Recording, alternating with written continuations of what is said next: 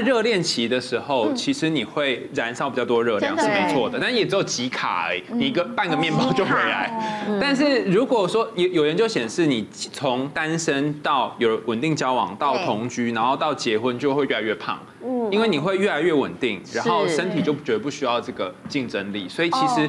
更稳定的关系其实是比较容易变胖的。那有有一个好方法就是你要保持自己的竞争力，比方说像出去逛街是个很方很重要的方法，因为你要看别人竞争力，就是你会觉得你每天都在想说，我会不会出轨，会不会出轨，会不会出轨？你这样想的时候，就我一定要身材保持超好。我每天都想，我不就疯了？他每天在外景都那么跟女生这样子玩，就要让让自己都是漂亮美眉。你可能就是都保持很好啊，所以你不用担心，你每天都在保持。哦，我知道，就是你逛街的时候，然后你本来想穿 S，然后那很瘦的小姐跟你说，你可能要穿 M 哦，你就会被刺激到，对，回去就要减肥。所以维持身材一个很重要，就是你要在择偶市场维持竞争力。那如果你真的想偷懒，有几个方法，看那个看那种竞技型的运动节目哦，紧张，对，紧张或是球呃那什么警匪片。看球赛很激动哎，哎，因为有研究显示，你在看球赛的时候，你消耗热量的幅度是跟球员一样的，但只是幅度哦，不会一样多。他可能一百七，你只有十七这样。看球赛的人不是拿着啤酒在吃披萨吗？对，所以所以所以你这同时你不能再做别的事情，不要说我已经看球赛了，还可以看政论节目。政论节目不会想吃，血压比较高的，对对，所以你做一些活动，让你觉得哎，好像有那个在脑袋在运动，这这就容易可以让你减少。但是不要忘记一件事，你脑袋减少再多的热量，也不也不足你一瓶啤酒的热量。对啊，接吻到底会呃可以消耗多少热量？那研究显示呢，从发呃一般的蜻蜓点水般的吻，可能一分钟消耗的热量是二点多卡，二点多卡，你想象就跟你坐着差不多了。轻轻的吻，对，而且一分钟哦，激烈的深吻也是一分钟十几卡，一分钟一分钟哦哎，现在谁轻一分钟啊？就是对，或者是有人说，哎，但如果做喜欢做的、做爱做的事，也能够瘦身呢？做爱做事也可以，是，但是只要你能够时间够久，因为我印象中他是说，如果一个小时。大约相当于慢跑半个钟头。问题是，大家有谁能够一个小时呢？所以这这是看对手，我还不如自己去跑步。看时间。对啊，你这太依赖对方了啦。遇到猪队友啊。第四个，为什么被抓奸在床那么高呢？这个我觉得他是应该是推算的。第一个，他们付了旅馆费，所以他们想说多做一点。所 以第二个，他们在做的时候又很担心被发现，然后一旦又被发现又惊吓，所以累积起来就一千五百。哇塞！那我可不可以再把这张表给老公看？说老公，我想减肥。那你看，其实那你要怎样？老公会以为你暗示。对啊，你要暗示他什么？你看啊，约会啊，约会其实是一个很好的减肥方式。为什么？你看约个会哦，你看你就开心嘛，然后就是两百卡。如果车里再约个会，这样不就六百了？对。然后我们再去楼梯间壁咚一下的话，哎，你今天的热量就代谢掉了。那如果可以被抓奸不在床的话，嗯，那大概一千。没那么紧张，但是还是有运动到。对啊，好有趣哦。好，所以那新年为什么这个后面就接你啊？陈姐，你都是用这张这张表，你怎么用呢？没有啦，我也有，我也有一招，是我高中的时候，我们因为我高中是舞蹈科，然后我们对于身材都在楼梯，嗯，不是啦，我们再回到女生，不是，我们也听到很多的动作都很大耶，我们是因为那时候老师蛮蛮激进的，老师都说身材非要都要很非常非常夸张，所以我们。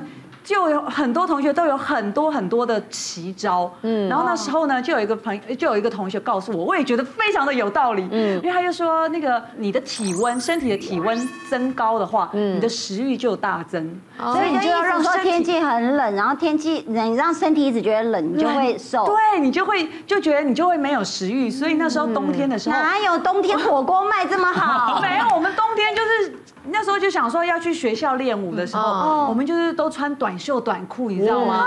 就出去都被我妈骂骂的半死，你知道吗？对，然后我就说不行，这样会瘦，这样会瘦。然后我同学也说跟他妈讲说这样会瘦，然后我都穿这样去学校练舞。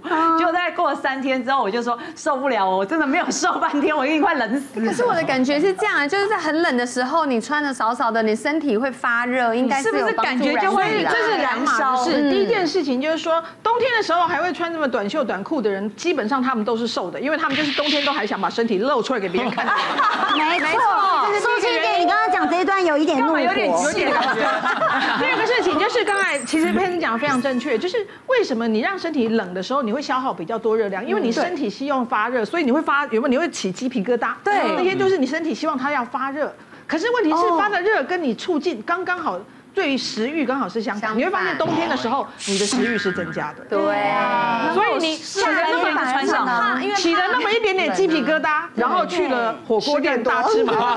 没有，这就很明显看得出来。你看欧洲国家，因为他们很寒冷，所以他们中年后大只的人真的很多。可是你看像泰国啊，什么天热带国家，都瘦，反而都是非常瘦的。对，所以反而是对食欲的部分，天冷食欲是。高的，只是因为你冷的时候，你身体如果穿的很少，你必须让自己发热会燃脂，但这相较是差很多的。是，所以有时候自作聪明反而会让自己麻烦。比如说有些女生就说，我减肥的时候是不是我热量越低我会瘦越快？对，其实这是不一定的。为什么呢？之前有个医生说他在帮一个代餐的那个厂商，他去做临床试验，分两组哦，一组就是吃一千两百大卡的，就是低热量减肥；一组是八百大卡的极低热量减肥。实验下来谁瘦得多？应该是八百最低的吗？是，答案是一千两百大卡那一组。他说，因为极低热量那一组啊，事实上也是一个吃欺骗自己大脑的行为。对，因为他们都以为自己只有吃那么少，可是半夜可能默默醒来，就不小心去摸了个什么东西来吃，在自己无意识的状况下，可能就抓了一把坚果吃，因为太饿了，违反他们身体的原理，所以反而八百卡那一组失败率是高的。所以不用自作聪明，其实。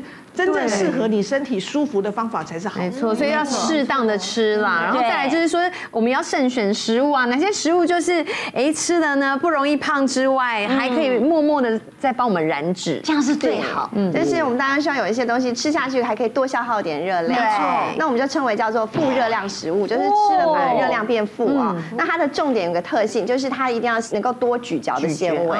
比如说像你吃丝瓜，它就会很快吞下去，可是你吃杏鲍菇，你不能用吞的，因为你会噎着。对，所以一样都是蔬菜，有些蔬菜你一定要咬它，有些蔬菜你还可以稍微狼吞虎咽。所以杏鲍菇不要切，然后一只慢慢吃，没吃吃很久。然后呢，再来像空心菜、地瓜叶有没有？你会发现你不能一坨吃它，对，一定得要咬它。对，所以这些的咬包含了你的口腔，包含你的肠胃道，其实都为了要解决它，它反而要消耗一些热量。然后再来就是我们刚才一直在讲代谢，代谢其实要代谢好，最主要就是个 B 群哦。嗯，那 B 群第一个来源，第二个就是烹调来源是什么？比如说肉类，好，这个还有全谷杂粮，好，那为什么大家都会说啊，减重要吃点糙米啊、红藜麦啊，对，或者是我为什么刚才说饮料要喝芋头？对，因为芋头它至少还有一些 B 群，对。然后呢，再接下来可是就是烹饪的方式，如果我肉类有 B 群，但是我用卤肉饭一直卤卤卤卤，因为 B 群怕光、怕热、怕湿，嗯，所以它卤久了就会不存在那么多。嗯，可是如果你今天吃涮涮锅，有没有涮快一点？那个 B 群含量就会保留在里头。好，那另外呢，就是代谢也会强调一个叫做。呃，有机酸哦，就是说我们这个里头哈就比较难哈，叫叫 TCA cycle，就是我们有里头有一个叫克氏循环，就是能量的产生，它其实会需要很多很多的有机酸，所以为什么有些人减重就是说强调喝水，有人会放柠檬汁，或像我们台湾有香檬哈，这些都是怎么样增加这个柠檬酸的来源，帮助代谢。那有些人喜欢喝发酵的醋也可以，但是因为它含糖量也同样高，但是它的酸类够多，所以大概就是喝到餐。前三十 CC 啊，或是餐后三十 CC，这也是一个选项。这样，嗯，虽然我也运动，可是我有时候觉得说我吃的东西根本就来不及消耗，超过你的运动对，然后尤其你知道，我觉得那个暑假的时候，嗯，妈妈是根本很难运动的。因为你小孩都在旁边，然后你每天都是跟他吃喝玩乐，真的很夸张。而且你只要一带小孩出去玩，然后你就会开始找当地的美食，除了三餐之外，所有的小吃都吃了。而且其实运动有时候，我那时候我觉得我之前就是有一阵子运动的时候就会遇到瓶颈了，会。就是你一直运动，当然你就觉得好像也也也瘦不下来。对，就之后我就发现了一个有法宝哟。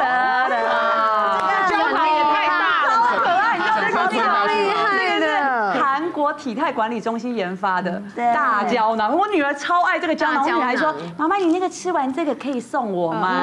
她觉得超可爱。的。痛。对，那它主要就是有那个油切专利的韩国藤黄果。其实藤黄果大家其实应该不陌生，对。它可以减少你的淀粉形成脂肪，然后也可以降低你的食欲嘛。对然后还有一个就是我个人很喜欢那种运动式的氨基酸，嗯，因为其实像我平常在对 BCA，像我平常在运动的时候，我有时候也会喝一些氨基酸的饮品，它可以呃增加你的代谢，然后提升你的肌肉合成嘛。嗯，所以像我像我自己呢，在那个饭前的时候，对，这个是对吃前的。对我哦饭前我会吃这个红色的。这个胶囊，你看好可爱，粉红色的。对对，然后我就这会样就不会搞错了。对，然后我饭前就会吃这个粉红色，它就是减少饥饿感，然后会阻止你的阻隔你的吸收。哦对，然后呢？所以当你在吃饭的时候，你就可以比较安心。对，然后就有之后呢，你就你就没有觉得这么饿嘛？对啊。对然后饭后呢，我就会吃这个绿色的。绿色的是做什么呢？绿色呢，它主要它有仙人掌跟绿茶的萃取，是对，然后它可以帮助包覆你的油脂，然后加强你的代谢代谢，然后把你不要的就排出去。对，所以其实这样子饭前饭后的搭配，然后再加上我有运动，我觉得效果就非常的显著。所以如果我觉得就算不动的人就。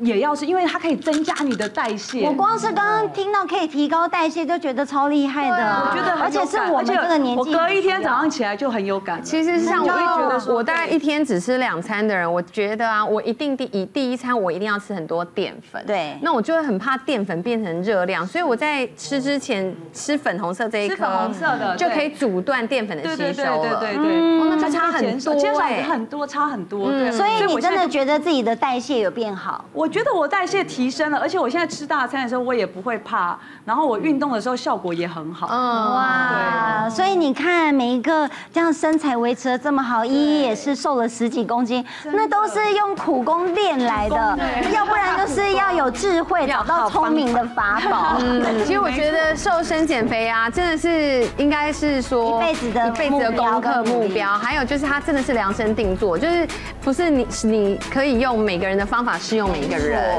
对，但是找对好的帮手真的很重要。所以呀、减肥就跟投资一样，选择适合自己的工具才是王道，没错好不好？这减肥的话题真的很好聊，我们又要漂亮，但又要健康，所以呢，今天节目当中也提供了非常多的方法给大家做一个参考哦。嗯，今天非常谢谢大家，谢谢。欢迎大家来订阅我们的 YouTube 频道，解决你所有的家务事，跟上潮流社会事，满足你想知道的八卦事，还有时尚这档事。赶快按下订阅频道，加上小铃铛。俗女家务事，赶快来订阅。